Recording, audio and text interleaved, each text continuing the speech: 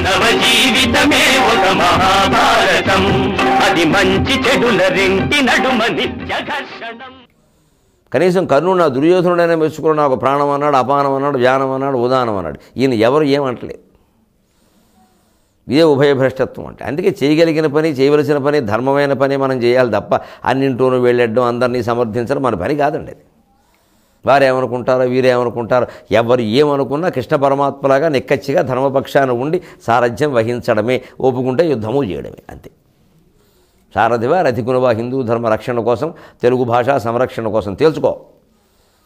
అందుకని ఊరికి వారేమనుకుంటారు వారు కోపం వస్తుందేమో? మా గురువుగారి అభిప్రాయంతో నేను భేదిస్తే ఆయన ఏమనుకుంటారో గురువు గురువే వ్యవహారం వ్యవహారమే.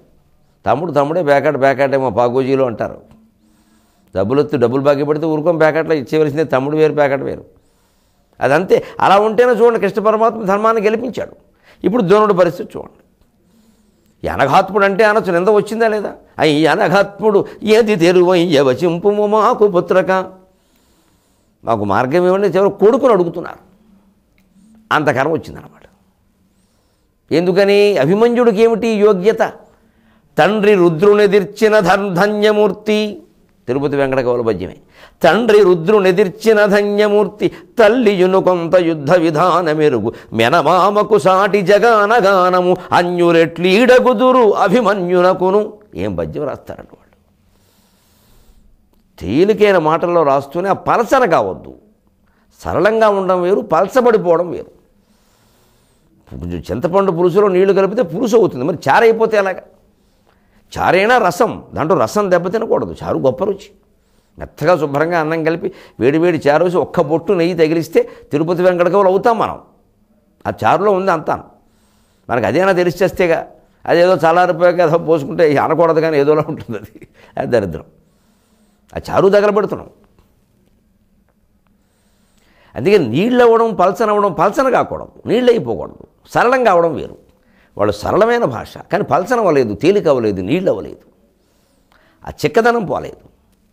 తండ్రి రుద్రుని ఎదిర్చిన ధన్యమూర్తి అర్జునుడు తండ్రి అభిమన్యుడు తండ్రి. శివుణ్ణి ఎదిరించాడు రుద్రుణ్ణి ఎదిరించాడు. రుద్రుడని వాడాడు శివుడని వాళ్ళ శివుడు మంగళకరుడు రుద్రుడు భయంకరుడు. అది శబ్ద ప్రయోగం ఇది తెలియాలంటే శివశంభుర ఈశానహ పశుపతికి ఈ మొత్తం అమరకోశంలో ఉండే శివుడికి ఉండే పర్యాయ పదాలు తెలియాలి. అప్పుడు సందర్భాన్ని బట్టి వాడతాం. లేదా ఇటువంటి చోట సర్వమంగళాపతి అవసరం లేదు అక్కడ. రుద్రం ఉండాలి. అది అది తేడా. ఆ వివిధ శబ్దాలు తెలియడం వల్ల ఏ శబ్దం అంటే ఆ శబ్దం వస్తుంది. తల్లి యునుకొంత యుద్ధ విధాన మెరుగు.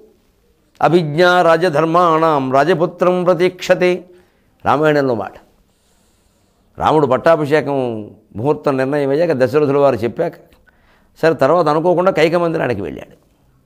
అక్కడి నుంచి వస్తున్నాడు. నేను వనవాసానికి వెడుతున్నాను సీతకు చెబుదామని.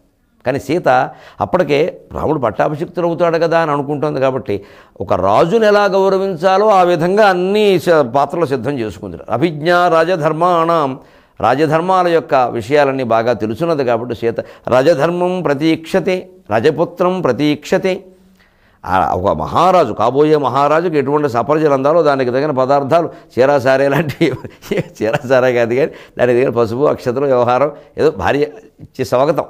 అంటే ఈ రాజధర్మాలు తెలుసు. ఎందుకంటే సీత ద్రౌపది ఇటు సుభద్ర ఇటు కౌశల్య వీళ్ళందరికీ సారథ్యం. అవసరమైతే యుద్ధం కూడా చేయగలిగిన శక్తి ఉంది. ఆ శక్తి సత్యభామ నిరూపణ చేసింది. క్షత్రియ స్త్రీలకు అది నేర్పారు. అందరికీ నేర్పలేదు. ఇప్పుడు ఇంగ్లీష్ చదువులు అందరికీ నేర్పారు. ఎవరు చదువుకున్న వాళ్ళు ఎవరో అర్థం కావట్లేదు అసలు. వీళ్ళకంటే కేవలం పురాణాలు రామాయణ భారత భాగవతాలు చదివిన ఆ పెద్ద తరం స్త్రీలు ఇప్పుడు అరవై ఏళ్ళు దాటిన స్త్రీలు వాళ్ళు సమస్యలను చాలా తేలిగ్గా పరిష్కరించుకున్నారు వాళ్ళు. వివాహ షష్ఠి పూర్తులు జరుపుకున్నారు. ముని మనవాళ్ళతో ముని ముని మనవాళ్ళతో సుఖంగా ఉన్నారు వాళ్ళు.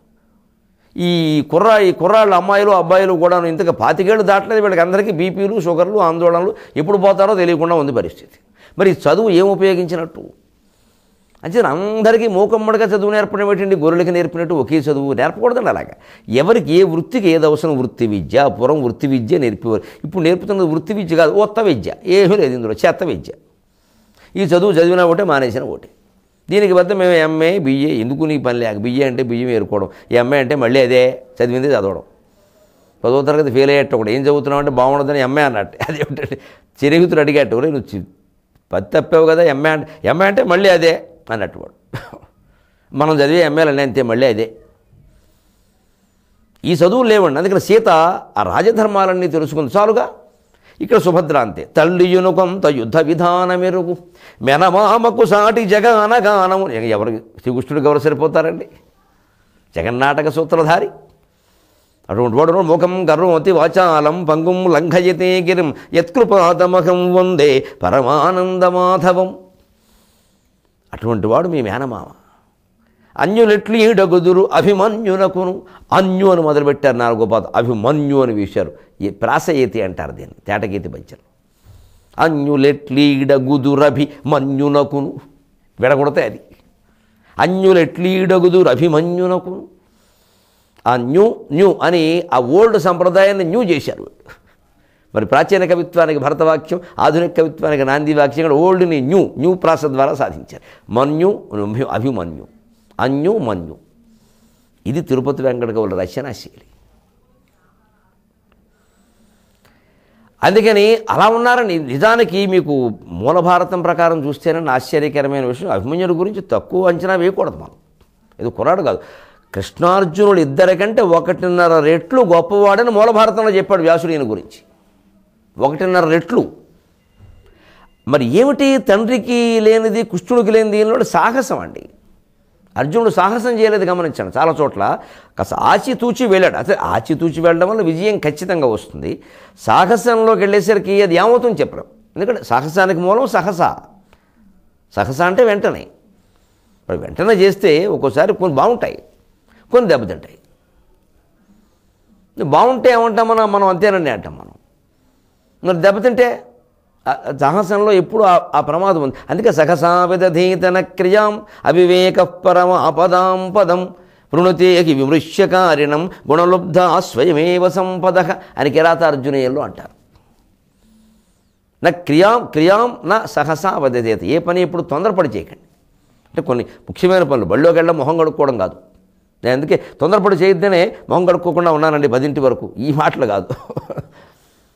కొన్ని ఏదో పెద్ద వ్యాపారం తలపెట్టాలో దానికోసం రెండు కోట్లు పెట్టుబడి పెట్టాలనిపిస్తుంది. ఆలోచించు ఏమి ఏమిటి ఏమిటంత కంగారు? వెంటనే పెట్టేయాల్సిన పని ఏమిటండి? నలుగురిని సంపాదించు ఆ రంగంలో ఆ వ్యాపారంలో ఎవరున్నారు? వాళ్ళు పెట్టుబడి ఎంత దీనికి ఈ ఈ ప్రదేశం సరైందని ఇంకెక్కడైనా చేయాలి ఈ వ్యాపారం? దీనికి చేసిన ఎవరు బాగుపడిన వాళ్ళు ఎవరు దెబ్బతిన్న వాళ్ళు ఎవరు ముఖ్యంగా దెబ్బతిన్న వాళ్ళ దగ్గరికి వెళ్ళాలి. అంతేకాని కొంతమంది చూస్తామండి వాళ్ళకు ఉపాధ్యాయుడిగా పనిచేయడం ఇష్టం లేక కాలేజీ పెట్టేస్తాడు. ఎందుకంటే ఇంకోటి చేతి కింద పనిచేయడం ఇష్టం లేక. ఈ గంట కొట్టడం ప్యూన్ నౌకర్ని రమ్మడం కాఫీ తెచ్చుకోవడం వీడికి ఇష్టం. చస్తాడు తర్వాత నా పది ఎకరాలు అమ్మేసి ఎందుకు ఇది? పనిచేయడం ఇష్టం లేక.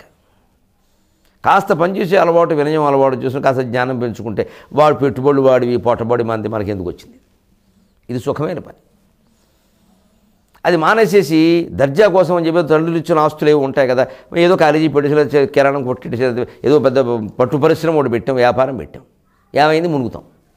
ఇది మనం చేసే పని కాదు అది. అది పెట్టాలంటే పెట్టడం తప్పలేదు పోనీ అంత అవసరం ఉంటే. నలుగురిని అడగాలి అందులో ఉన్న వాళ్ళని పది మందిని అడగాలి. అది వాళ్ళు ఏం చేశారో తెలుసుకోవాలి. ముఖ్యంగా దెబ్బతిన్న వాళ్ళ దగ్గరికి వెళ్ళాలి ముందు గెలిచిన వాళ్ళకే కాదు.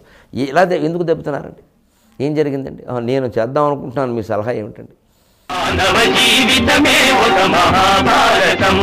అది మంచి చెడుల రెంటి నడుమ నిత్య ఘర్షణం